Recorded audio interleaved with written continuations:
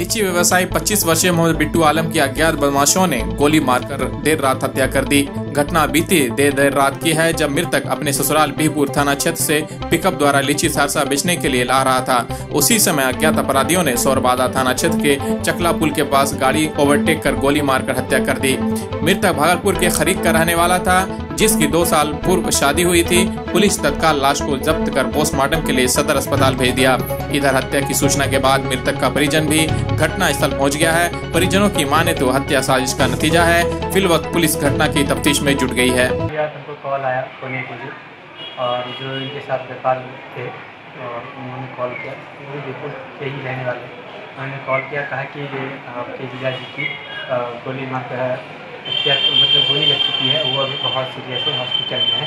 और हमने जब कारण पूछा तो पता चला हम लोग को कि मोबाइल छीन छान के दरमियान ये हाथापाई के दरमियान गोली चली है। और एक घंटे बाद पता चला कि उनकी मृत्यु हो गई डेट हो गई। फिर हम लोग जब बेहपुर बेहपुर से सुबह हम लोग जब यहाँ आए तो पता चलता है पुलिस प्रशासन से कि सोची साजिश ये क्या है। पुलिस के छानबीन के मुताबिक पता चला कि दस बज के अट्ठाईस मिनट में इसका मोबाइल रसलपुर गाँव में बंद होता है और दस बज के बयालीस मिनट में चकला चौक पर इनकी मृत्यु चकला पुल पर इनकी मृत्यु होती है।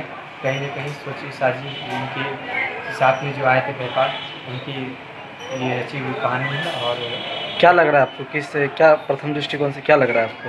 ये बिल्कुल जहाँ तक देखा जा रहा है प्रशासन के द्वारा और हम लोग के सबके बुनियाद पर कि ये सोची साजिश रची क्या है। और ये इनका दो साल पूर्व शादी हुई थी इनके घर अडगमान है।